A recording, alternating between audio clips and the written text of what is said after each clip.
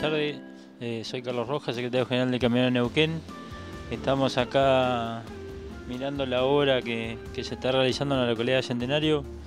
Este, una obra que los va a llenar de orgullo a todos los camioneros y, para poderle brindar eh, el beneficio de la salud que es tan importante para los trabajadores y a su vez unas oficinas sindicales que no, que no teníamos en la localidad. Van a haber consultorio de odontología, pediatría, ginecología, en realidad va, a estar bien completa, gracias a Dios.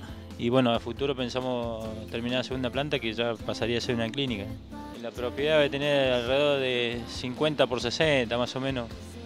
Eh, la verdad que, nos llena de orgullo tener esta obra en, construcción, que pensamos que a fin de año poder inaugurar una parte este, va a ser un orgullo para todos los camioneros neuquinos. Y lo importante de esto es que ya ves la obra avanzada con, más o menos son 16 consultorios, ya te digo, las oficinas sindicales, está toda la estructura armada, el cablerío, todo lo que es instalación casi terminada.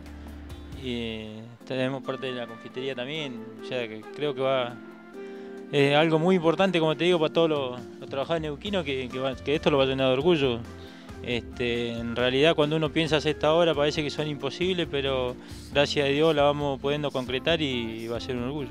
Cuando Hugo tuvo la posibilidad de venir a, la inauguración de la clínica de petrolero de Catriel, eh, pasamos por acá, pero como, parece que no, que no vio las dimensiones de la clínica, como que miró y no, no dijo nada, así que yo creo que cuando venga y, vea esta obra se va a sorprender.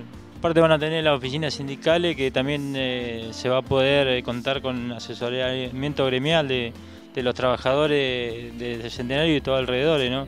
que van a poder contar con, otra sede gremial que no sea la central. También tenemos un anhelo que espero en los próximos días poderse concretar.